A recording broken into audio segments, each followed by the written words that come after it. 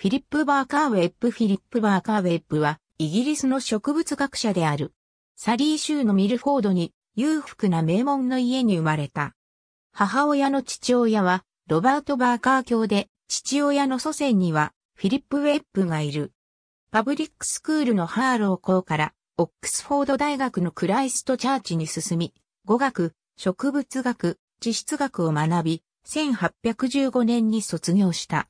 イタリアやスペイン、ポルトガルで植物採集を行い、モロッコのテトゥアン州の産地で植物採集を行った最初のヨーロッパ人となった。ブラジルでの採集旅行の中継地のカナリア諸島に長く泊まることになり、カナリア諸島の植物の地域的特徴を研究した。これらの地域をマカロネシアという呼称で呼んだ。この研究の成果は、カナリア諸島に住んでいたサバンベルトロと共著で20年かけて9巻のカナリア諸島の自然史としてまとめられた。昆虫学者、マッカールらもその専門分野を執筆した。ウェップの標本はフィレンツェ自然史博物館に寄付された。1824年3月25日に王立協会のフェローに選ばれたが、その年、除名された。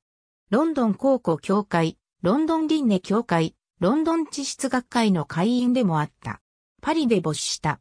ウェップは植物の学名で命名者を示す場合に、フィリップ・バーカー・ウェップを示すのに使われる。